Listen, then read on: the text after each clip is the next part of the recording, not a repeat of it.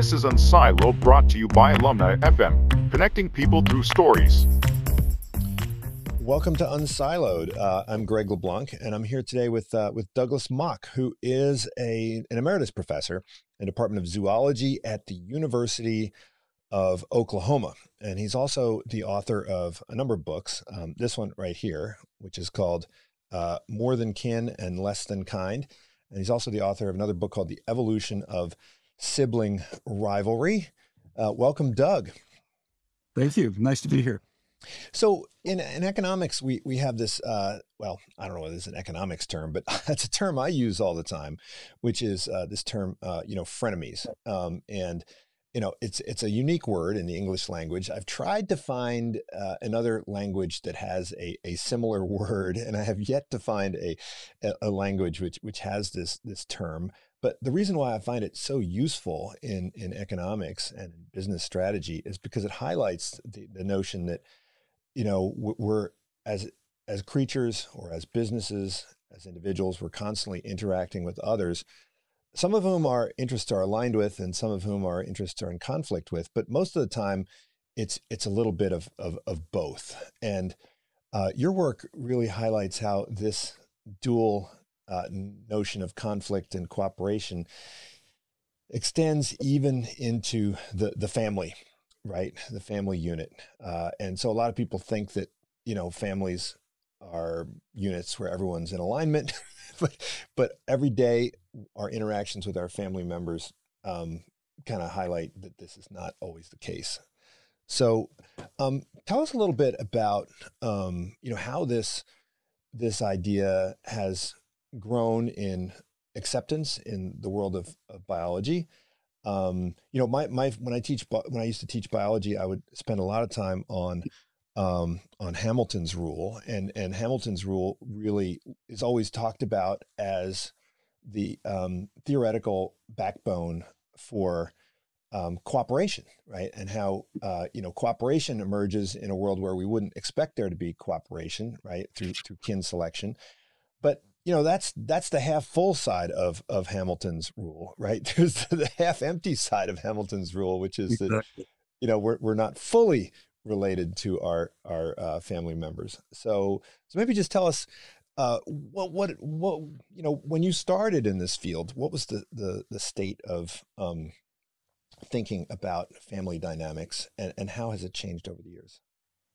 Well, Hamilton's rule, of course, was the the huge breakthrough but Hamilton's rule defines the boundary conditions for altruism, and it's an inequality. So, um, in hindsight, I can see that my only insight there was to ask what happens when the inequality is not satisfied, mm-hmm. in which case the default is selfishness or looking out for self interest. And so the 20 odd years that I spent studying fatal sibling competition in birds was pretty much centered around a situation where it was quite evident that the closest of genetic relatives were uh, executing each other. and this had repercussions for the inclusive fitness, Hamilton's term, uh, for all other members of the family, and that the dynamics were likely to be a whole lot more complicated. But at the very beginning, when I first started telling people that the birds were siblicidal, I had um, people telling me, uh, oh, they must be um, half siblings. They must be uh, unrelated eggs that got dumped into the nest. Mm-hmm. They must be on and on and on because the power of Hamilton's insight as to how altruism could evolve through natural selection had seduced everybody into uh, seeing uh, that as the complete answer to the to the question, and it obviously was not. Right. And so in economics, we, we, we generally uh, define economics as the um, science of scarcity, right? And um, you know, anytime yeah. we think there's scarcity, uh, you know, that's when economics raise their hand and say, okay, you know, we, we have something to say about this. And I think, you know, your work is really all about uh, scarcity, scarcity Absolutely. within the, yeah. the, the family unit. And, and actually it's, I guess it's, it's a little bit um, more specific because you're focused on what we might call the, the, the nursery, right? And, uh, broadly defined. So, could you, could you tell us a little bit about you know what what is the domain of of the nursery, and um, and you, even though your work is in birds, you you, you talk about you know plants, you, you talk about um, you know you reference humans. You try not to, but you can't help it. There's all these human metaphors about you know grocery shopping and family budget and and all that sort of stuff, and you know siblicidal uh, you know royalty throughout history. That's right. Uh, and here, in fact, here comes a mammal now. um, yeah, it is about scarcity. it's about critically limited resources.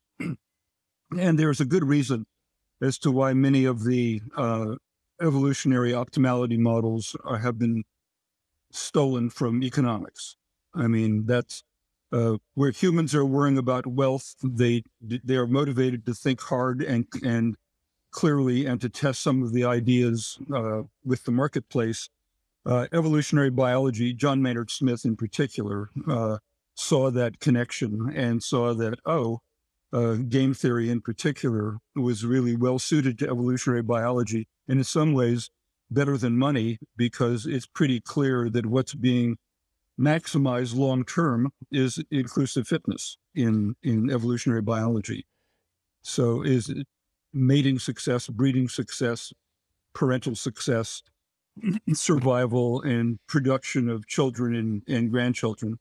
So, um, well, I mean, what's great, what's great about that is that, you know, biology offers testable hypotheses, whereas, yeah. you know, economics, economics at the end of the day doesn't, right? Because we, the, you know, we, we, we hypothesize that there's this, you know, people maximizing utility all the time, but, but utility is who knows what that is, right? I mean, you can get utility from killing yourself, right? So it doesn't, it mm-hmm. doesn't, there's no way to actually test our, our, our, theories. But in biology, like we, we know what the objective function is, right? I mean, it's, that's right.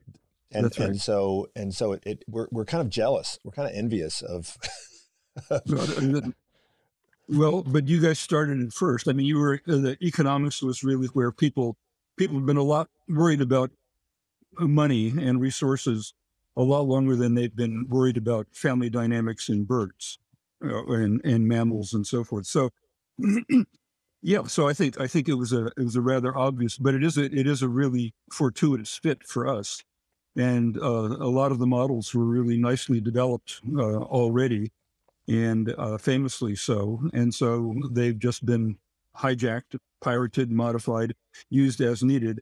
And yeah, then the fun part um, as far as I'm concerned, is trying to use the theoretical constructs that started with economics and then were adapted to evolutionary biology and trying to use those with real world systems where you can test them and you can find out things about them. But, you know, in biology as in economics, uh, people fall in love with hypotheses and they get a sexy idea into their heads and they go berserk, uh, uh, desperately trying to make the data fit the model. Uh, and that's sort of a pet peeve of mine that's been bothering me for a very long time. Uh, I was I was still a graduate student when I realized that um, not all biologists, even famous ones, were out there literally trying to test hypotheses. They were playing favorites, sort of rooting for the ones that that had the most glamour and um, willing to overlook the data that didn't fit. Mm-hmm. And this was kind of a shocking moment for me. Uh, the other shocking moment, as mentioned in the book, was the first time I was out watching baby egrets uh, fighting with each other and realized that the parents weren't going to stop the fights. Mm-hmm. That was a, a, an astonishing moment for me where I thought, oh, there's a lot more going on here than than is obvious. And it, you know, it just takes a lot of time thinking and sort of nagging away at a problem like that. Well, well, let's go back to that old idea, right? So the idea that you um, originally held, which was common wisdom among biologists, was that since all of the offspring of a mother, let's say, are equally related to the mother, that the mother would have um, an interest, an equal interest in kind of promoting the lives of each of their offspring. And so if one one child was attacking the other, you know, they would have an interest in in coming in and and kind of you, you know maintaining peace. And I love how in the book you said that this you wanted this to be true because of your own childhood when you were, I think, a fourth child and and uh, fourth boy. Yeah. Was, yeah. I have three older brothers. Yeah. So the dominant so, hierarchy. And so you, yeah. you were not presumably tossed out of the nest and left to, to fend for yourself. And, and this was uh, presumably because of your mother's uh, protection of you as the, as the runt of there the was litter? A certain amount of screening. Yeah. That went, that went on. And they, you know, my brothers had their chance and they, uh, uh, they, they couldn't, couldn't put me out permanently. I don't think they were seriously trying to, but um, yeah, it, it did sort of resonate. And so tell us, so this this idea was just was was sort of a um, uh, an orthodoxy at, at, at the time. There were there were two threads. I think if I look back, um, I was an undergraduate in the late 1960s, and the uh, work of David Lack um, on what was coming to be called brood reduction, uh, that that parent birds create more offspring than they necessarily raise. And so one member of the brood sometimes died. and Lack reasoned in the, gosh, in the 1940s, he reasoned that this might be, um, this might be in the parents' interest, mm-hmm. that the parents, the parents were really overproducing, not knowing what the family budget was going to be, not knowing what the ecological realities would unfold. And so the family budget was unknown, and that that parents often uh, erred on the side of optimism and produced mm-hmm. one or two more eggs into the nest than was the average um, carrying capacity of the family budget. And so he had pointed this out in the 40s, but then, you know, uh, almost 20 years later, when Hamilton's rule came along uh, in evolutionary biology, people weren't going back and grabbing that that insight from ecologist David Lack. They were running off into evolution of social behavior and thinking about how altruism can evolve, which is very exciting.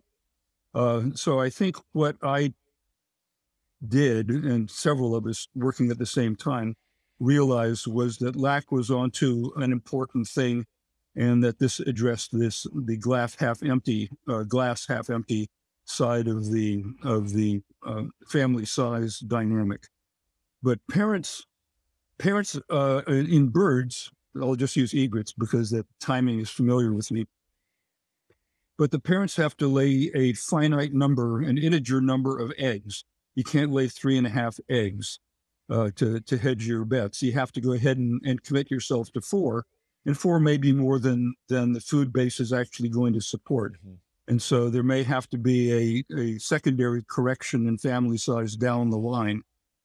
Well, it took me a couple of years of pondering all of this, sort of to realize that, uh, really to realize that I, I'd expected that the parents would start interfering with these sibling fights when the parents were having a, when the food was super abundant. Mm-hmm. And after a couple of years of waiting for that to happen and collecting data and sort of trying to understand the system descriptively, it suddenly dawned on me that some parents in this colony of thousands of birds, some parents were having a good food year every year because they were better at hunting. And none of the parents were interfering with the fights. And at that point, the light sort of switched on, and I thought, "Oh my golly, um, this is this is something that the parents are not necessarily opposing the the trashing of one of the offspring. And then from there, it was a pretty short jump to realize that the parents had already stacked the deck against the youngest the youngest offspring. Birds lay eggs no more often than one per day. And so if one egg is laid on Monday and the second egg, I'll call them A and B, is laid on Tuesday, and the third egg, C, is laid on uh, Wednesday or Thursday as nutrients are amassed by the by the mother to produce eggs.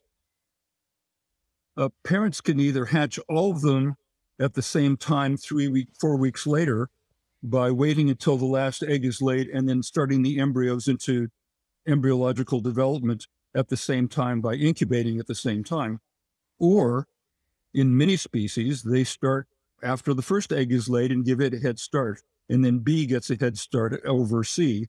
So, and so, so, wait, so in terms of birth, so birth order is something that the the um, the the mother egg or the parent eggs can control. But you also mentioned that the eggs can kind of talk to each other, like while they're still you know, while they're still eggs, right? Well, let me, let me first of all, it's not mother eggs. These are they the the mother's already hatched. She's full grown, uh, but the right. two parent birds do the incubating, and they are in control of when embryological development starts.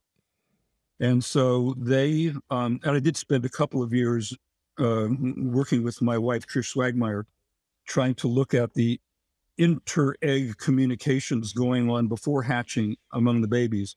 But getting back to the simple model of parents and eggs in the nest, and parents give a head start to the A over B and B over C. So C hatches out a couple, three days after A has already hatched.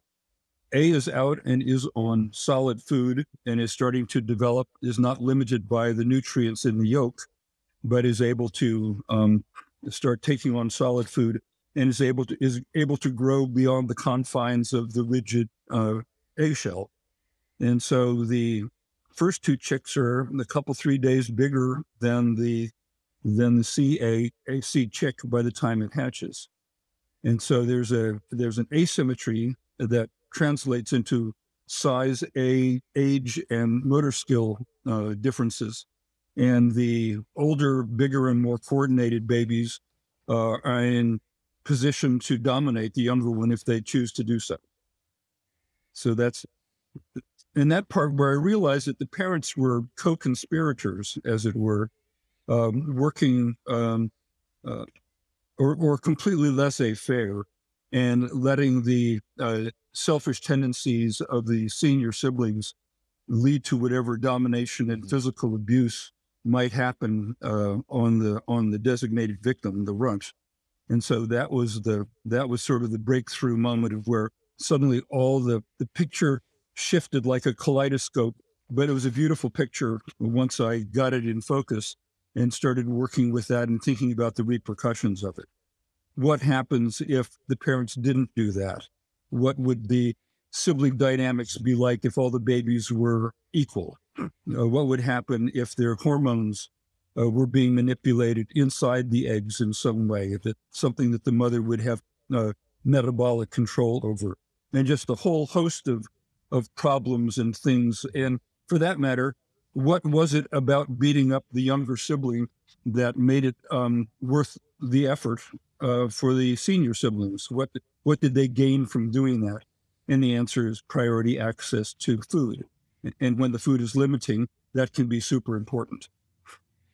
So Lack's um, model sounds an awful lot like something we would recognize in, say, operations research, right? I mean, if you have un, uncertain supply or uncertain demand, then you know you have to trade off having too much versus versus too little, right? I mean, it, it should be something. It seems very very familiar to us in in in business operations, you know, inventory management, and and, and so forth, right? Yeah.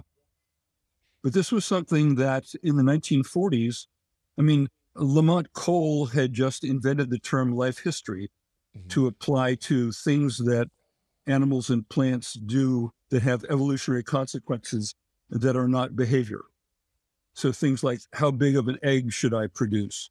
Uh, what kind of nutrient packing should I do? Should I play with the the hormone chemistry inside the the egg yolk uh, uh, in advance? All of these things are possible things that aren't really behavior in the sense of motor patterns, but they are things that have strategic consequences for the players in the dynamic and that's um, that's that that had that was his first paper on that came out in 1945, and three years later, David Lack was explaining essentially overproduction and uh, the interplay between clutch size and the behavioral dynamic of when you start incubation. And he was trying to understand why why they have asynchronous hatching. Those were in in Swift's nesting in the Oxford uh, Bell Tower, uh, and he was starting to tinker around with that and think about it a bit. But yeah, no, it, it's it's not really a novel. It's not really a novel concept from economics and from business, but it was very novel at the time in ecology, evolution, and animal behavior. Well, you mentioned that you know your insurance hypothesis, right? The mm-hmm. idea that you know animals these would systematically kind of over, overproduce um, Mhm. and then kind of kind of cull the the flock, um, unless of course there was some kind of accident uh, that would require you know preserving the the QB three so to speak, right? The the third string uh, um, offspring. You said that this this idea um, when it was introduced, uh, it was much better understood by kind of non-biologists than biologists initially, or it, it, it sort of made sense. Um, That's right. So, so why do you suppose that is? Because, um, I mean, I certainly think it's, it sounds, it sounds like, oh yeah, okay, this makes sense. You know, preserve optionality. You know, make Oh, sure you have a, a backup quarterback, you know, in case the Yeah, first one goes down. But needless to say, at University of Oklahoma, using quarterbacks was a perfectly good pedagogical technique. I figured. Yeah, Uh, because of linebackers as the selection pressure against quarterbacks. Um, no, well, the reason, of course, was that at the time in the 1940s, evolutionary biology was very confused about how natural selection works. Mhm. And in particular, it was widely believed and had not been come into focus yet. It was widely believed that things evolve for the good of the species, Mhm. of the whole species. And um, that really didn't come under, into question until the early 1960s. So while I was in high school, and I was completely oblivious of all that, but um, the leading thinkers in evolutionary biology started realizing that it's uh, much more parsimonious to think of evolution operating at the level of the individual. And then Richard Dawkins and others, uh, Dawkins popularized the the notion that that Hamilton and George Williams and others had that no selection is really operating at the level of the of the gene or of the allele technically, but um, during the from the 40s and through the 50s and you know well into my college years, uh, this hadn't gotten people hadn't gotten clear on this yet, and they thought that things evolved for the good of the whole species. So wasting offspring made no sense from the point of view of the whole species. Didn't make a whole lot of sense from the point of view of the parents' interests, but um, at least we were on the right track at that point, and you could start to rephrase the questions uh, uh, in a, a, more productive way. Now, there are some other theories out there, right, that you mentioned. Um, there's one that's just the biological wastage um, theory, mm-hmm. right, which is that, well, you know, sometimes there's just you know stuff that doesn't make sense right and and then uh, there's there's the um, i think it was called the the mobile uh, mobile larder uh, theory right yeah which, yeah which i guess only works when you actually eat the um, the offspring um, that's true but then you have folks like stephen jay gould who would be who were very critical of a lot of evolutionary biologists saying that you know this is just a bunch of just so stories and you can That's conjure right. up any old just so story and and propagate it. Um, and I think your main argument is that you can actually test these theories, and the way you Yeah. test them is with a variety of interventions and, and, and manipulations, right? So, so evolutionary biology is often thought of as a theoretical discipline, but I think you argue that it's it's a very it's an empirical discipline, and that, you know all Very of much these theories are testable. So how do you how do you go about testing these these things, and how do you um, address these accusations of say just so stories Okay, well that's that's a there's a broad issue. Um, first, let me tell let me tell an, uh, an anecdote. Uh, Gould and Lewontin were attacking sociobiology, which uh, Ed Wilson had been making a huge splash over in the mid 1970s. So the selfish gene was coming out um, from Richard Dawkins, and a sociobiology book had just come out from Ed Wilson, and Gould and Lewontin, Lewontin were having at them and I think we're leveling some perfectly legitimate uh, charges that too many people were saying, oh, this is a lovely theory. It must be true. It deserves to be true, that sort of thing. So there was an active, also, there were, there were definite um, echoes of the Third Reich being uh, seen or imagined into biological determinism. And that's a big part of their motivation and their, their concern about all of this. So there was a, a cadre of, of people who were very, very hostile to biological determinism and by extension to sociobiology. And at one point, um, my PhD alma mater, University of Minnesota, invited me to come back. They were de- uh, dedicating the new College of Biological Sciences at Minnesota, and they wanted to bring back two of their recent graduates. We were basically being brought in to serve as a warm up band. Uh, the headliner was Francis Crick. Mm-hmm. And Francis Crick had just published a paper called Selfish DNA. And so the the local um, Gould Lewontin fans, the a group called Science for the People, they were um, coming to the talks, uh, picketing essentially, and there to make trouble. Well, I gave a talk. I gave a talk. Was yeah, it was about two years into the study of siblicide. I had lots of anecdotal stuff and a, a, few data and some things to talk about. And these guys were were laying for me. And at one point, I finished my talk and I asked if there were any questions. Hand raised, and it was a, a professor from the Department of Genetics at Minnesota. And his question to me was, have you done the behavior genetics experiments yet to show that any of the behaviors you've been talking about have a heritable basis? Yeah, have you done that with great egrets? And I said, certainly not. Uh, great egrets have extremely slow life life cycles, would be terrible experimental animals, and uh, no, not done nothing with that. At which point he said, well, then it's clear that you know nothing about genetics and you're wasting our time by getting up and talking about all of these just so stories. Well, I wasn't quite sure what to do. I was, you know, second year professor, and I'd never been confronted this way before. But on the front row of the uh, audience, Francis Crick raised his hand. So I think, when in doubt, call on the Nobel laureate, you know. And he stood up and he said, Well, I understand quite a bit about genetics, and what he says makes perfectly good sense to me. Okay. So I just said, um, does anyone else have genetics questions while Dr. Crick is on his feet? and got through the scene. But um, no, there was real hostility, and I well, think that, actually seems like a remarkably civil story. story. yes, no, no, one, no, one dumped water no, on you. Nobody, uh, you know. Water. That's right. No, not even a Gatorade bath. So right. yeah, no, it was it was it was pretty civil, and things got nice uh, from that point forward. But um, now I forgot what the second question. Oh, how to test these things.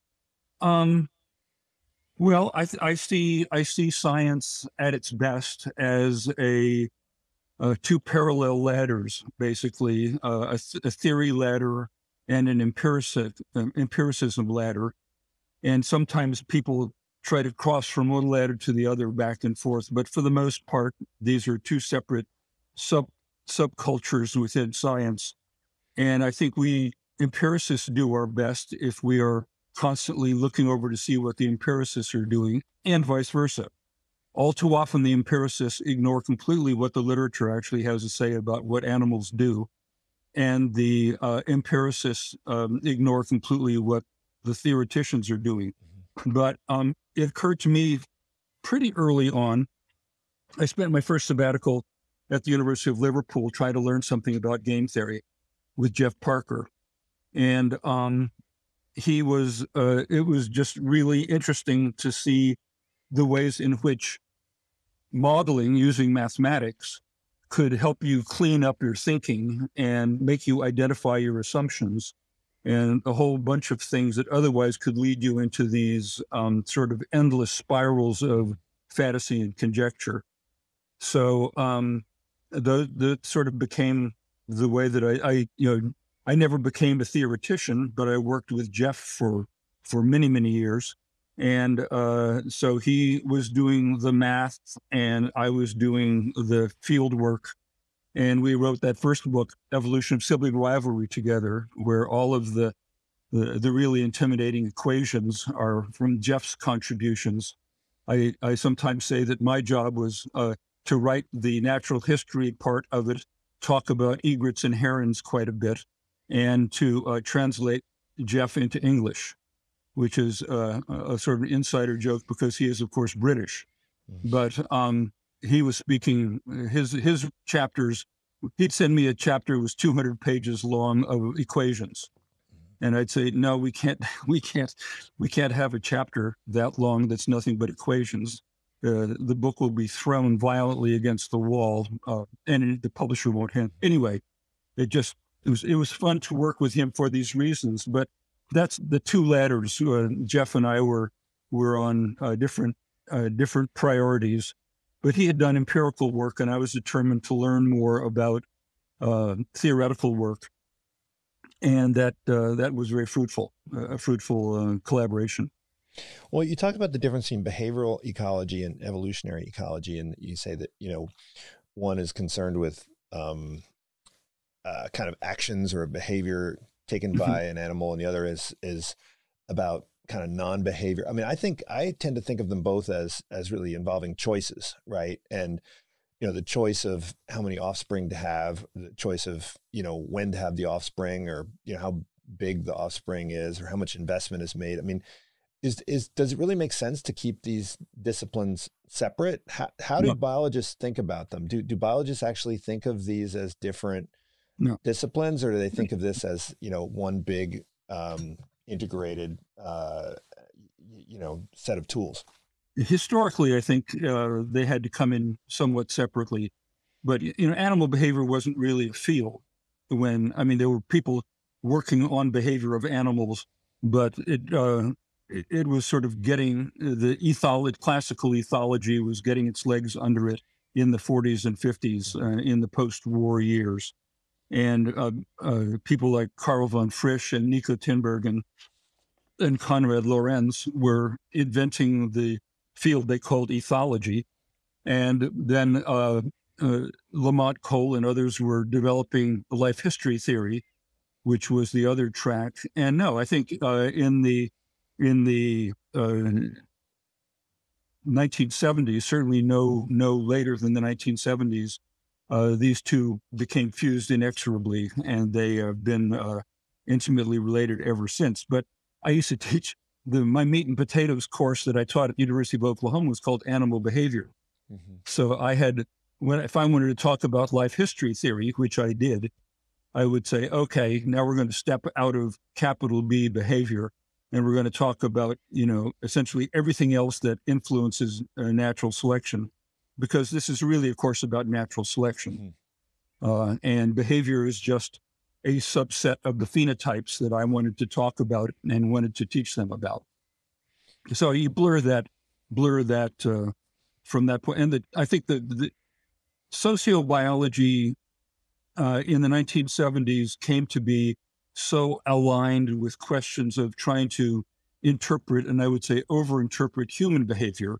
Mm-hmm. It moved prematurely into explaining everything about our most marvelous selves um, to our own vanity. And so it made itself sort of vulnerable to the people who didn't want there to be a whole lot of crossover into thinking about humans. And the the, the British uh, uh, contingent in our field uh, essentially hijacked it and renamed the field behavioral ecology, mm-hmm. which included life history theory and behavior and everything above, and just spent very little time talking about um, talking about humans. Well, I remember when I used to go to the Animal Behavior Society conferences, the, the first question anybody would ask is like, you know, what what's your animal? And and, I would always say, you know, people. And they're like, yeah, what are you doing yeah. here? You don't you don't belong here. Get, you know, you're at the wrong conference. Yeah, right? exactly. Yeah. So, um, so let's dig deep into uh, this, you know, infanticide, uh, or um, actually, infanticide is a separate question, and I think you, you know it's also uh, been well studied and, and well understood. But when you're talking about kind of, um, you know, a siblicide, there's, there's a couple different versions of it, right? Uh, one is kind of violent, the other is sort of nonviolent, right? Um, and you know, you talk about um, scramble competition versus interference uh, competition, but you know, they're all more or less serving the same same purpose. So, could you could you just uh, maybe explain the the insurance hypothesis? Uh, uh a little little more um, because I think there's there's an alter there's one you talk about the the sharks inside the womb of the of the the mother shark that was pretty uh, pretty spectacularly gruesome right you know and then you talk about the wasps in inside the caterpillar and you know that's also can be similarly uh, gruesome but but then there's you know these more milder forms where it's just hey I, am taller and I'm going to wind up getting the boluses uh, or yeah. they called boli.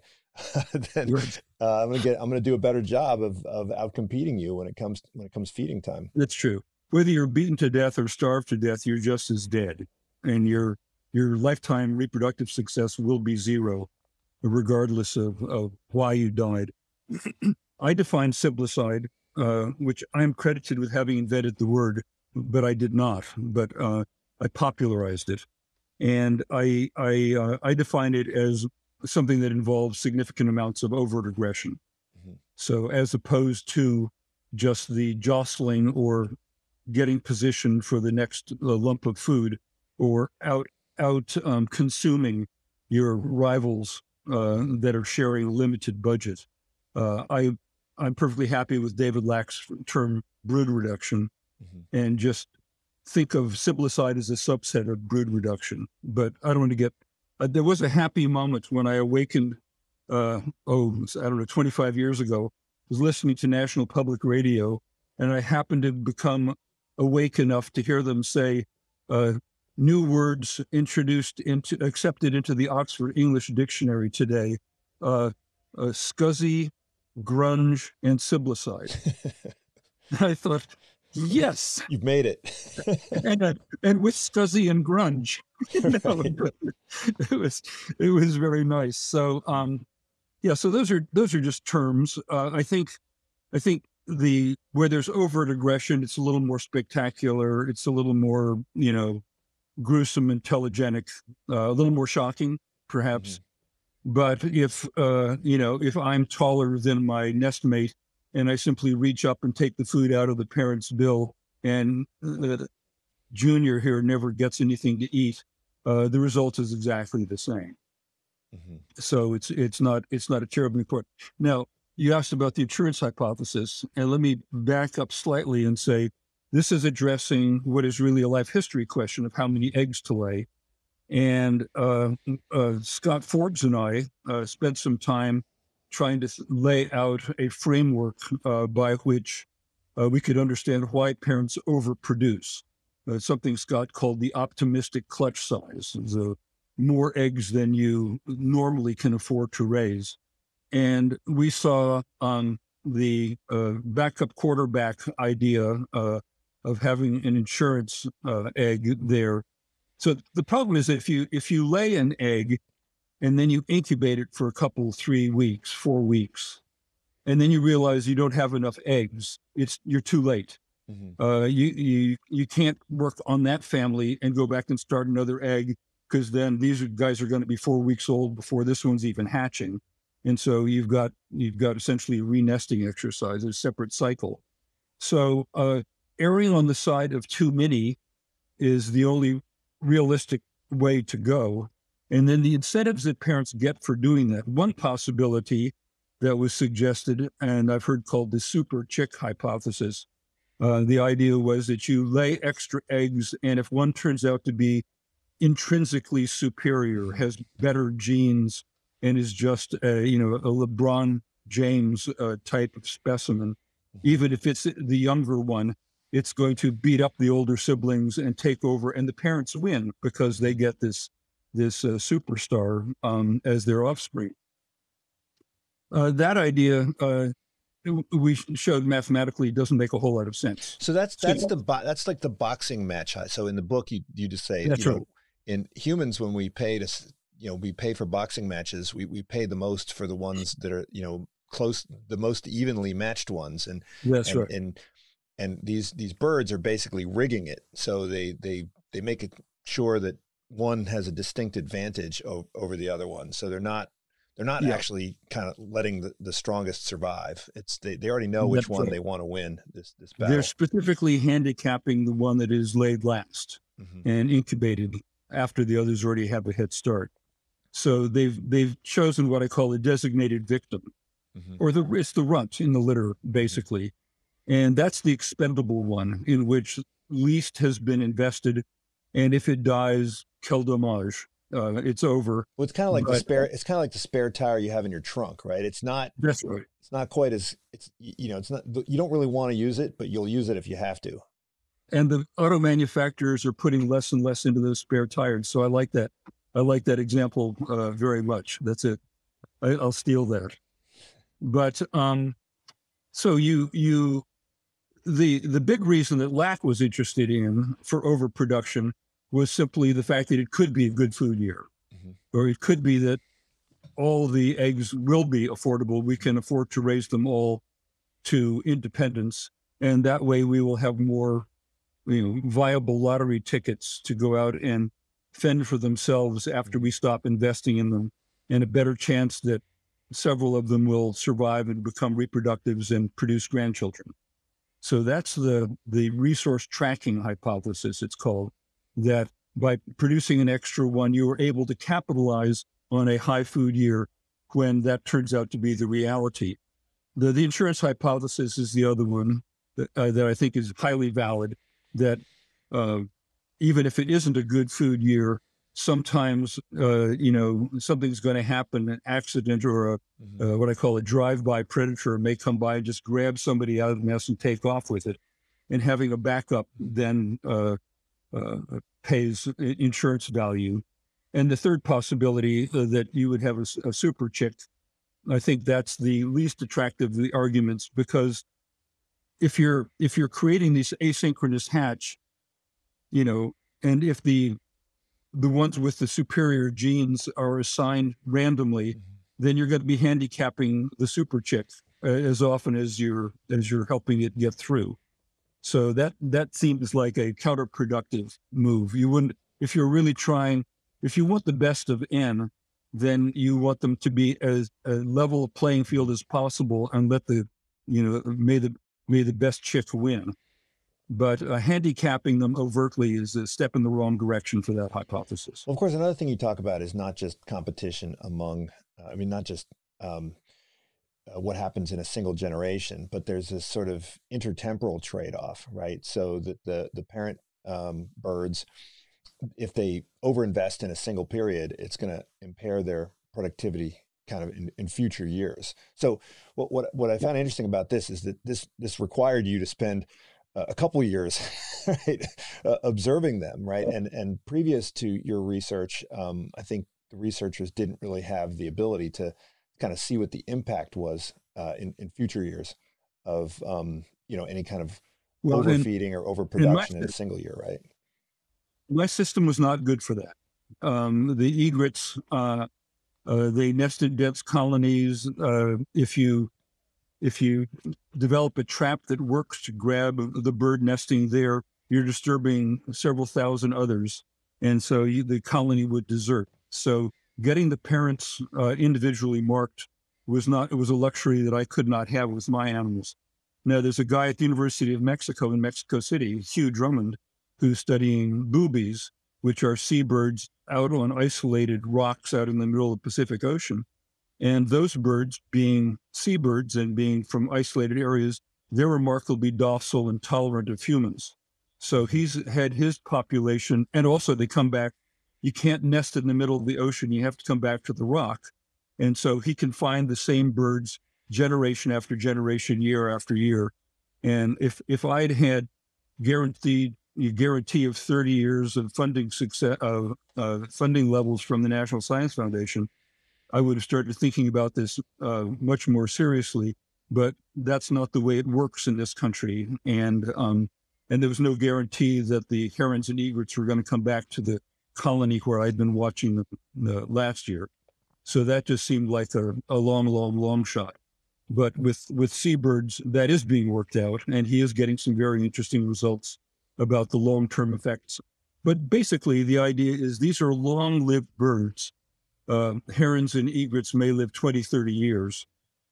And so they aren't going to be working at their maximum, at their physiological uh, limits they're pacing themselves for a marathon. It's not a sprint, and so they they um, probably have a finite amount of parental costs that they're willing to sustain in a given reproductive cycle, and beyond that, uh, if it means that somebody out of this year's brood uh, has to die, so be it. But I'll be around next year and for 19 years thereafter.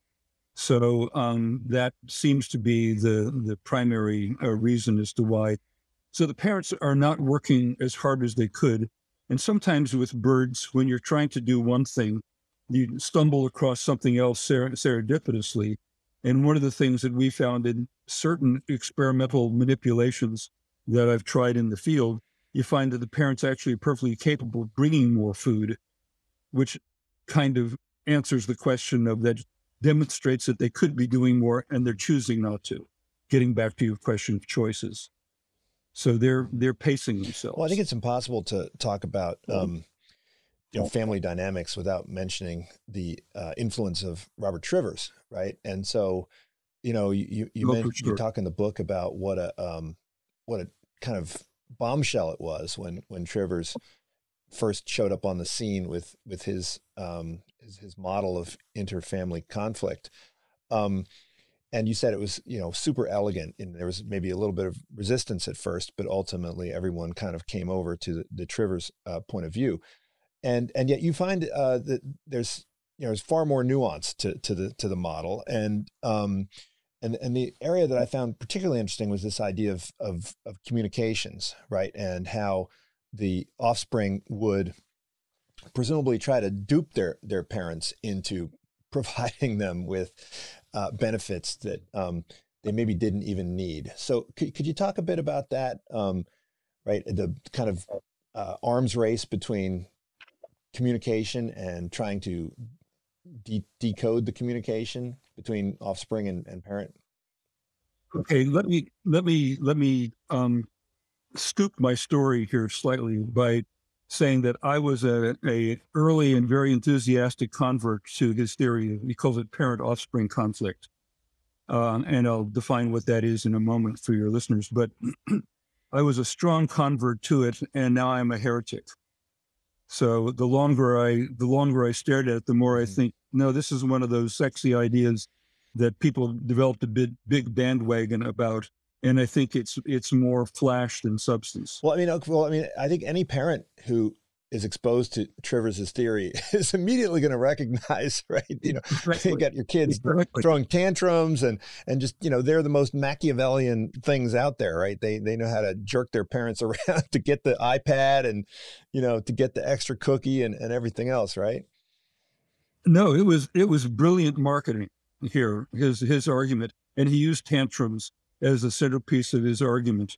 And uh, everybody who has ever been a parent fell in love with the, the theory immediately. And everyone who's ever been a child, which is all of us, um, was um, uh, attracted to the idea that the kids would have some power and so forth. But let me go back and recap the basic idea, uh, which is that as a parent, I am symmetrically related to all of my offspring coefficient of relatedness of 0.5, I'm donating half of the DNA that goes into that son and half of the DNA that goes into that daughter. Therefore, ceteris paribus, I am equally interested in both of my offspring if all you look at is the degree of relatedness. Um, and yet, from the point of view of siblings, the individual son, uh, I made them gender different so that I can be clear about them.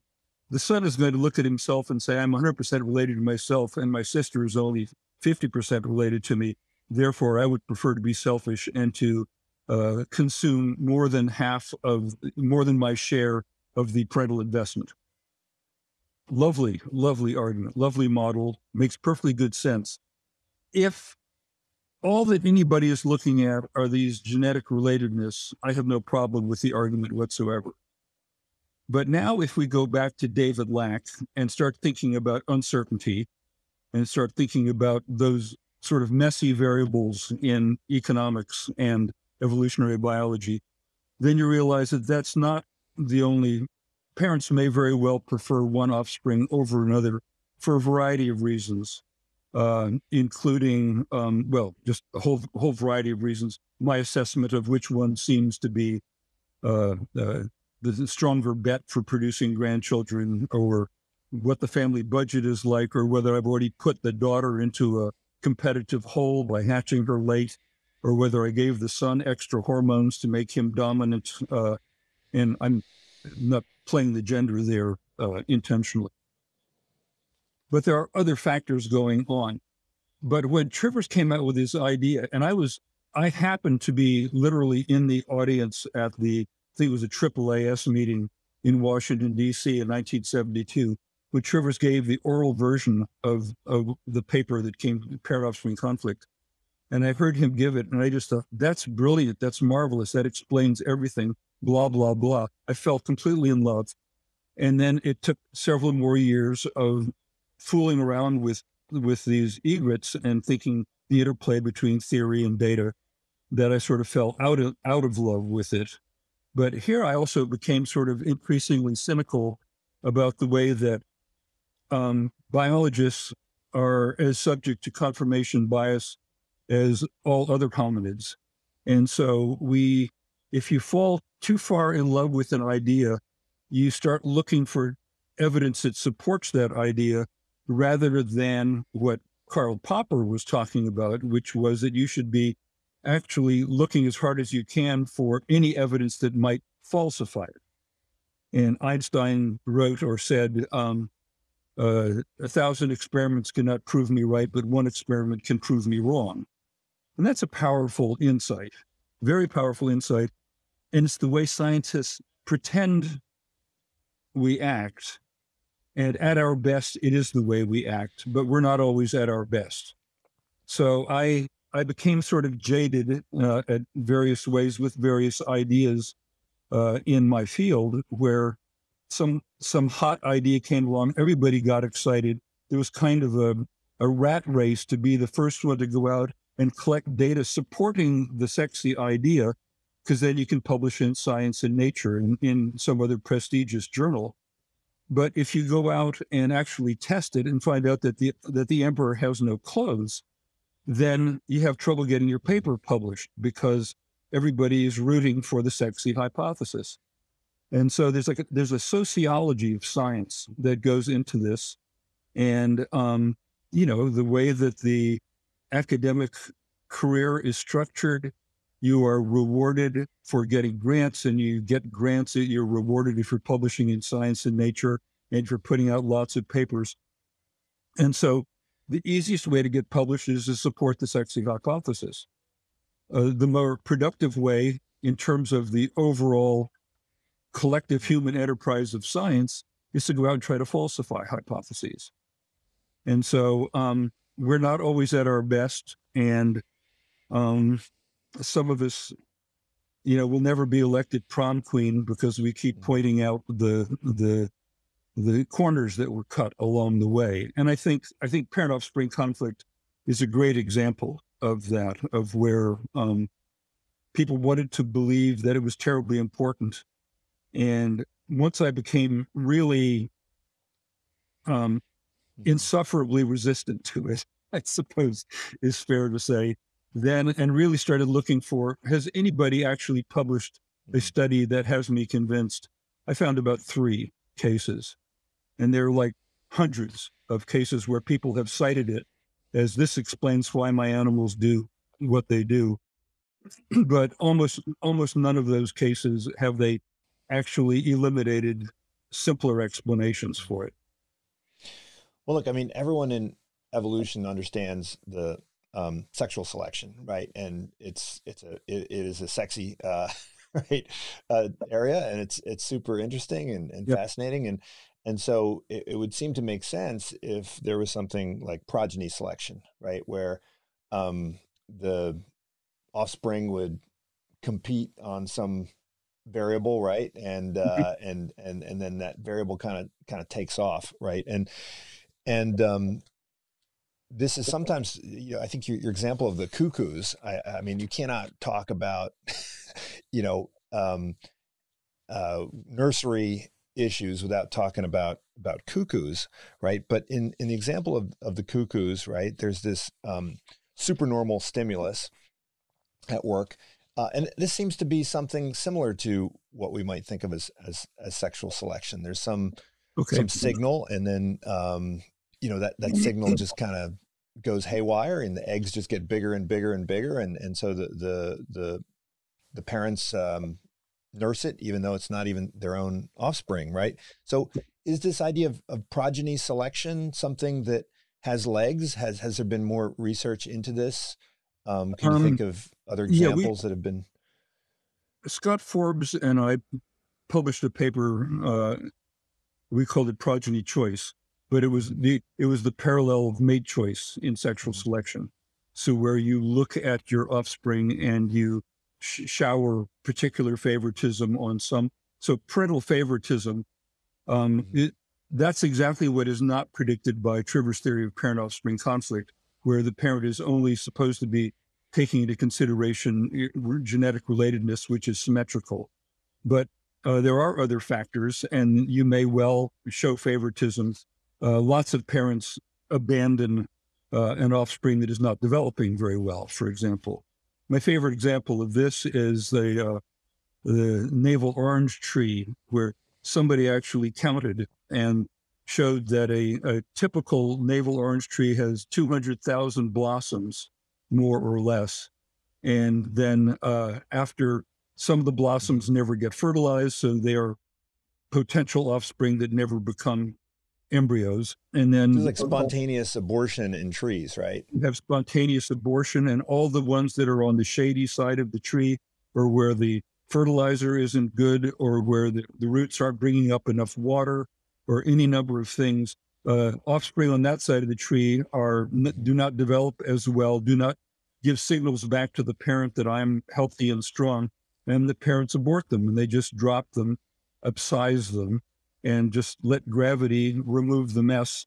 And uh, at the end of the whole uh, season, uh, a navel orange tree that started with 200,000 blossoms uh, uh, yields an average of 618 uh, oranges. So you've gone from 200,000 to 618.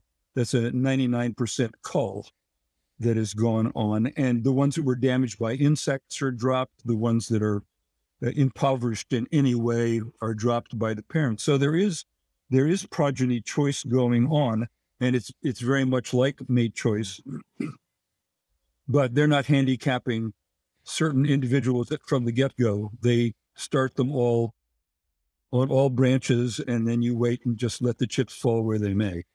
But this involves some kind of credible signal, right? So there has to be a credible signal of underlying need or of underlying uh, fitness potential, right? In order to give the the parent the ability to discriminate, right? And it could be something as simple as the the fruits that are sucking resources out of the parent are taking photosynthate uh, at a a healthy high level and are sucking water out of the xylem at a healthy high level those offspring are indicating that they are viable. I, I don't I don't have any idea of the plant physiology behind how the signal is actually conveyed. There may be hormones involved. I wouldn't be a bit surprised. Mm-hmm. Well, so when in all of your descriptions of your research, it seems like there's a lot of drudgery, right? There's a lot of tedium, right? You spend a lot of time in these blinds, you know, watching birds yes. and, and waiting for things to happen. And you say that, you know, exhilaration is, is a relatively rare thing in the life of an empirical um, um biologist. Yes. Um, how has it changed since you've written this book? I mean, uh, I would expect that with all of the cheap cameras and sensors and, and all of the tools that are oh. available oh. for field work, has has has it gotten easier for you to kind of test hypotheses? Is, has the, has the world become a little bit less uh, tedious yeah. um, than it used to be. Well, and you can you can get into systems that you couldn't get into before. So now, for example, I'm studying eastern bluebirds, and I take mm-hmm. I happen to have one right here, a GoPro camera. This slides into the top of the nest box. Camera looks down on the brood.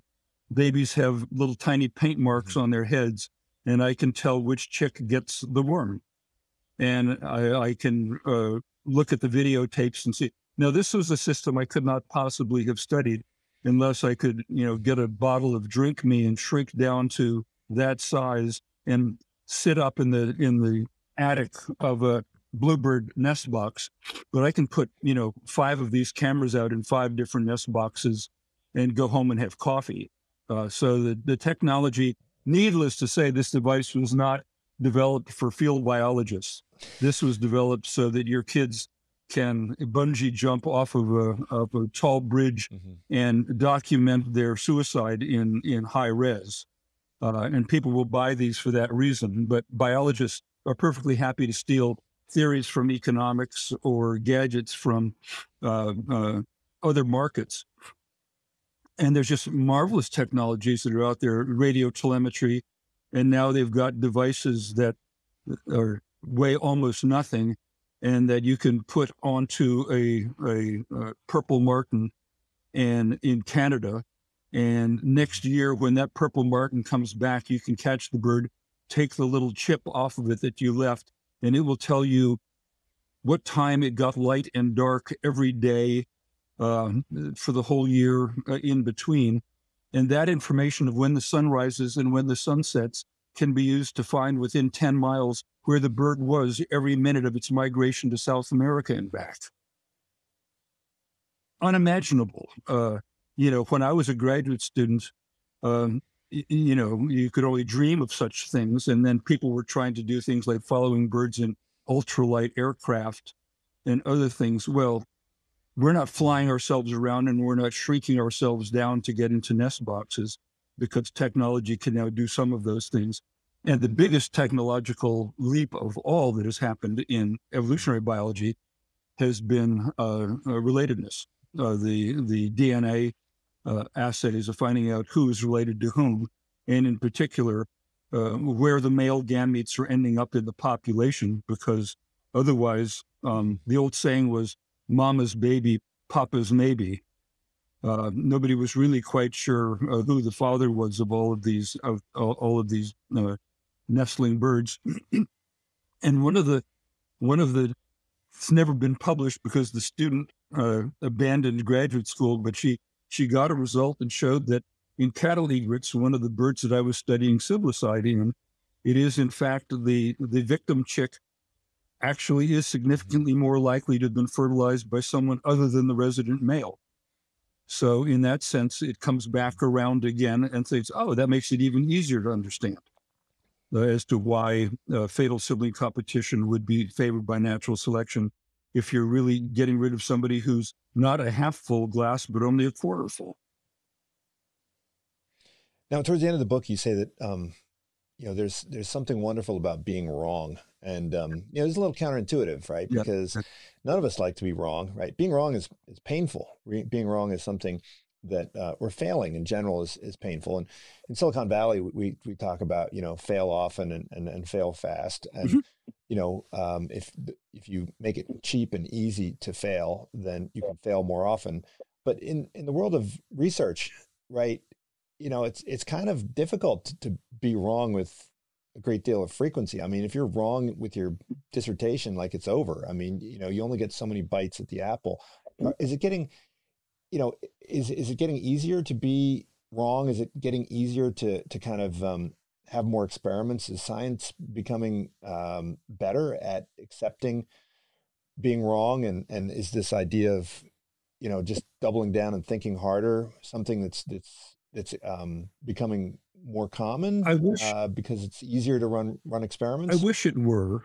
Um, I, I, I don't know is the honest answer to your question. I would like to think so. The advantage of being wrong, to me, is that it it tells you that there's one or more variables that you haven't been thinking through properly, and when you're right, you you think you pat yourself on the back and you say, "Okay, that's wonderful. I must have understood everything perfectly." When you get answers that are exactly the opposite of what you expect, then you realize, oh, I am messed up. And that means that the entire literature that I have read in preparing this prediction also is missing something, which means I have an opportunity to find out something subtle and interesting and that everybody else has missed. So it's it's actually good to be wrong. And uh, I'm let me just grab a behind. I will plug this book Mm-hmm. Stuart, what's his name? Firestein, Stuart Firestein book mm-hmm. called Ignorance How It Drives Science. And I'm a big fan of this book because he's making essentially that, that point very nicely that, uh, that when, when science is wrong, then you think harder about the problem. And I think in the book, I put this old joke that I got out of Boys Life magazine of why are your car keys always the last mm-hmm. place you look? And the punchline is because you stop looking. So when science gets the answer that it expects, it stops thinking. And that, you know, on its face is probably not great strategy. Uh, you should not stop thinking. Uh, you should uh, keep digging a little farther into it.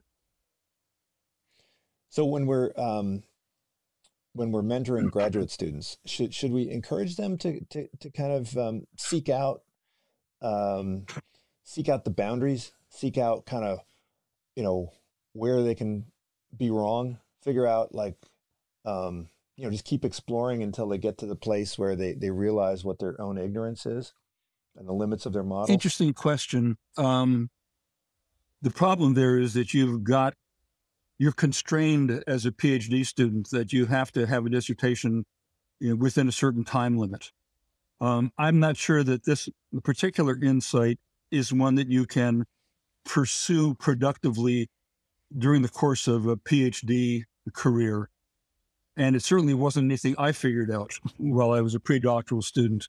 But um, later, when you have a little more freedom to be wrong and uh, a little you know, more highly cultivated critical thinking skills, then you start to appreciate the value uh, that comes from being wrong, and um, and you start becoming uh, less patient with people who always seem to find the the exact uh, answer that they were expecting. They get up and introduce their their talk with all these elegant reasons for expecting the wind to blow west, and then they demonstrate that the wind always blows west, and then they sit down and they're happy.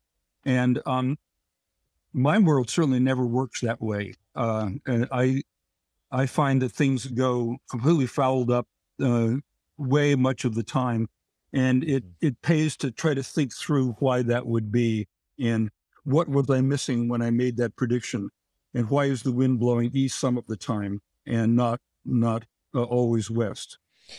Well, Doug, thanks so much for joining me. This book was uh, was really was really a fun read, uh, and we didn't touch on all the different topics. We never got into bees. we never got into to, to beans and, and pods, and uh, there's so much more in here. Um, and uh, I really enjoyed it. So thanks so much. More than kin and less than kind.